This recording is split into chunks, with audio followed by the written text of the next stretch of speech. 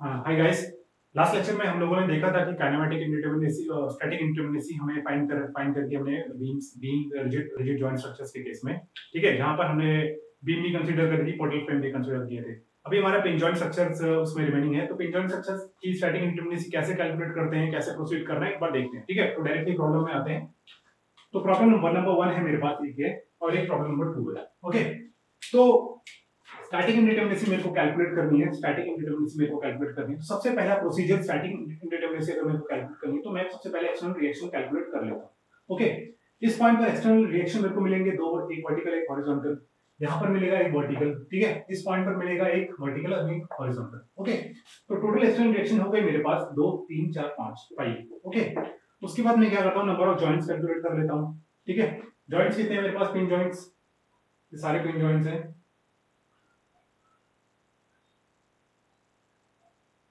Okay तो joints है मेरे पास कितने हैं? One two three four five six seven eight three four five six seven eight okay और मेंबर्स है मेरे पास? One two three four five six seven eight nine ten eleven twelve thirteen fourteen fifteen ठीक है? Members है मेरे पास fifteen okay clear है? तो अगर मेरे को इसकी स्टैटिक इंडिटरमिनेसी फाइंड करनी है तो सबसे पहले मेरे को देखना है कि मेरे पास टोटल नंबर ऑफ़ तो मेरे आ, मेरे पास टोटल नंबर ऑफ़ रिएक्शंस कितने हैं ठीक है? तो टोटल रिएक्शंस हो गए मेरे पास। Total reaction external plus external plus internal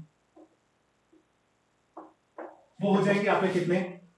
Five plus one into fifteen ये वन इसलिए क्योंकि हर एक मेंबर पे ओनली एक्शन फोर्स होगी, ठीक है? तो member only members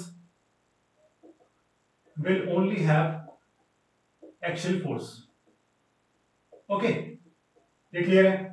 ठीक है? और तो यहाँ पे मेरे पास टोटल एक्शन रिएक्शंस कितनी होगी? 15 माइनस फाइव इक्वल्स टू 20 ठीक है? नंबर ऑफ़ जॉइंट्स है मेरे पास कितने? एट तो for every joint for every joint for every joint summation fx 0 and summation fy will be 0 okay ये भी क्लियर है? तो इस केस में हम लोग देखेंगे कि नंबर ऑफ़ इक्विलिब्रियम इक्वेशन जो हमको मिलेंगी, वो मिलेंगे हमें 2 इनटू 2 इनटू कितना? 8 व्हिच इज़ इक्वल टू 16 ठीक है? सो मेरी स्टैटिक इंडिटरमिनेसी हो जाएगी. Static indeterminacy will be 5 plus 15 minus of 16 okay which is equals to 4 clear है? तो मेरे पास फोर अननोन्स हैं जो मैं फाइंड नहीं कर सकता। वो इस अननोन में वो कुछ फोर्सेस भी होंगी, कुछ इंटरनल फोर्स होंगी, कुछ एक्सटर्नल फोर्सेस होंगी, ठीक है? तो ये चीज़ आपको ध्यान रखनी है, ठीक है? वैसे भी आप फिगर देख के भी बता सकते हैं कि यहाँ पर एक मेंबर एक्स्ट्रा है। क्योंकि यहाँ पर एक दो ब्रेसेस आ रहे हैं, मेरे को मेरे को इतना रिक्वायर्ड है नहीं बेसिकली ठीक है? तो ऐसे देखकर भी आप अंदाज़ा लगा सकते हैं। तो मैं अगर देखूँ यहाँ से तो मेरे को स्टैटिक इंडिटरमिनेसी मेरे को मेरे को मिल रही है ठीक है? इसी प्रॉब्लम को दूसरे मेथड से करते हैं एक बार मेथड नंबर टू ठीक है? मेथड नंबर टू हमारा क्या बोलता है? कि सबसे पहले मैं क्या कैलकुलेट करता हूँ? External indeterminacy external indeterminacy okay वो मुझे कैसे कैलकुलेट करनी है? नंबर ऑफ़ एक्सटर्नल रिएक्शन कितने मेरे पास? नंबर ऑफ़ एक्सटर्नल रिएक्शंस वो है मेरे पास आर इक्वल्स टू कितना है? R equals to five clear है? इक्विलिब्रियम इक्वेशंस कितनी होती है मेरे पास? इक्विलिब्रियम इक्वेशंस वो होती है मेरे पास three which is summation F X zero ठीक है? Summation F Y zero and summation M Z zero point clear होना चाहिए, ठीक है? यहाँ पर मैं जॉइंट का इक्विलिब्रियम नहीं देख रहा हूँ, पूरे सिस्टम का इक्विलिब्रियम देख रहा हूँ तो वहाँ पर मेरे को जो इक्वेशन अवेलेबल होगी रिएक्शन फाइंड करने के, वो होगी summation F X summation F Y summation M Z clear है? क्योंकि मुझे यहाँ पर सिर्फ़ और सिर्फ़ अभी एक्सटर्नल रिएक्शन के लिए कैसे कैलकुलेट करना है, वो चाहिए मेरे को, ठीक है? मेंबर फोर्सेस इसमें मेरे को भी मतलब नहीं है, ठीक है? तो ही मैंने इसलिए यहाँ पर थ्री इक्विलिब्रियम इक्वेशन यूज़ करी है। क्लियर नेक्स्ट अगर हम लोग आते हैं नेक्स्ट अगर हम लोग आते हैं, ठीक है? नेक्स्ट अगर हम लोग आते हैं, अब यहाँ पर क्या आप लोग पूछ सकते हैं कि सर यहाँ पर टू जे इक्वेशन अवेलेबल है हमारी। यहाँ पर यहाँ पर हमने टू जे लिया वहाँ पर थ्री लिया है एक्चुअली क्या है कि हम लोगों को यहाँ पर जो टोटल रिएक्शंस कैलकुलेट कर रहे हैं वो 15 कितना है आपका? 20 ठीक है? 20 रिएक्शंस हैं टोटल टोटल रिएक्शंस 20 है, ठीक है? तो मेंबर्स के फोर्सेस जहाँ भी कंसिडर होंगे मेंबर्स के फोर्सेस वहाँ पे हमको जॉइंट का इक्विलिब्रियम इक्विलिब्रियम कंसीडर करना है। क्लियर है पॉइंट ये? ठीक है? क्योंकि अगर मेरे को मेंबर फोर्सेस कैलकुलेट करनी तो मैं किसी जॉइंट के नोड पर ही इक्विलिब्रियम उसका कंसीडर करूँगा। ठीक है? तो इस पॉइंट पर हम लोग देखेंगे कि अगर हमको टोटल अगर हमको कंसीडर करना है टोटल इस वाली केस में तो हमको इंडिविजुअल एवरी जॉइंट का कंसीडर करना है, ठीक है? और यहाँ पर अगर मैं एक्चुअली इंडिटरमिनेसी कैलकुलेट कर रहा हूँ तो यहाँ पर मेरे को सिर्फ़ इक्विलिब्रियम इक्वेशंस चाहिए। क्योंकि मुझे समय अभी सिर्फ़ एक्सटर्नल रिएक्शन से ही मतलब है। क्लियर है पॉइंट ठीक है? तो उसके बाद अगर हम लोग आते हैं इस चीज़ में तो फिर यहाँ से मेरे को मिलती है R minus three equals to static external okay ये कितना हो जाएगा आपका? आर कितना है आपका? Five minus three which is equals to two clear है पॉइंट ये? ठीक है? अगर मेरे को इंटरनल इंडिटरमिनेसी फाइंड करनी है इंटरनल फाइंड करनी है इंटरनल ठीक है? इंडिटरमिनेसी तो वो मैं कैसे करूँगा? मिनिमम मेंबर्स जो रिक्वायर्ड होते हैं, वो होते हैं मेरे पास m equals to 2j minus of 3 ये पहले हम डिस्कस कर चुके हैं।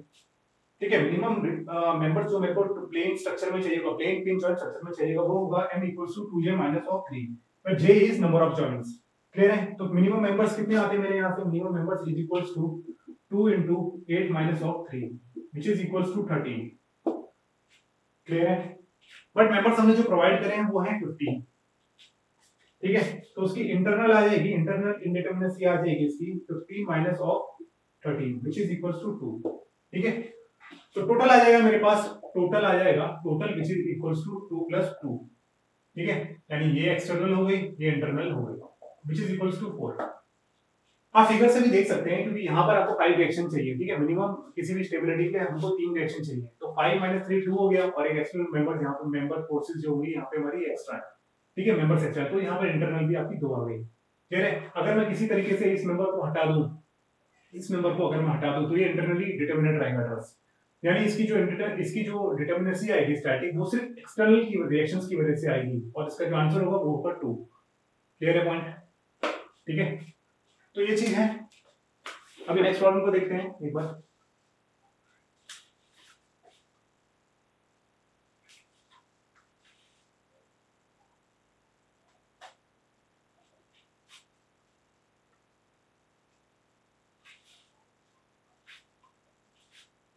ठीक है नेक्स्ट प्रॉब्लम में आते हैं। तो इस, ये प्रॉब्लम नंबर टू ठीक है, इसमें भी हमको क्या करना है? फाइंड करना है स्टैटिक इंडिटरमिनेसी ओके तो दोनों मेथड्स हम लोग देखेंगे। मेथड वन मेथड वन ठीक है तो मेथड वन में आते हैं। तो सबसे पहले हमको सबसे पहला, सबसे फ़र्स्ट काम है हमको रिएक्शंस कैलकुलेट करना है एक्सटर्नल रिएक्शन एक्सटर्नल रिएक्शन हम कितने आएँगे हमारे? दो इस पॉइंट पर, एक इधर वर्टिकल एक इधर पे वर्टिकल और एक इधर पे यहाँ पे वर्टिकल हॉरिजॉन्टल एक्सटर्नल रिएक्शन आ गए हमारे पास कितने? फाइव क्लियर है? नंबर ऑफ़ जॉइंट्स कितने आएँगे हमारे पास? नंबर ऑफ़ जॉइंट्स जो होंगे number of joints equals to 1 2 3 4 5 6 7 8 9 10 11 12 13 number of joints हैं जो है, वो है हमारे पास 30 ओके और मेंबर्स कितने होंगे हमारे पास? मेंबर 1 2 3 4 5 6 7 8 9 10 11 12 13 14 15 16 17 18 19 20 21 22 23 ओके मेंबर्स हैं हमारे पास 23 क्लियर है? तो मेंबर्स है हमारे पास 23 जॉइंट्स एंड टर्निंग और एक्सटर्नल रिएक्शन है 5 तो स्टैटिक इंडिटरमिनेसी हो जाएगी इसकी कितनी फिर से? 5 plus one into twenty three minus of two into thirteen okay यही होगा। ये number of equilibrium equation available है। ये हमारे पास कितना है? Number of total reactions available है। क्लियर है?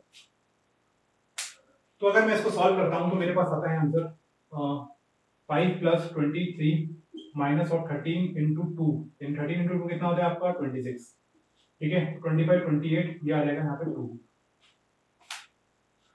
क्लियर है? ठीक है? एक बार फिर से देख लेते हैं यार।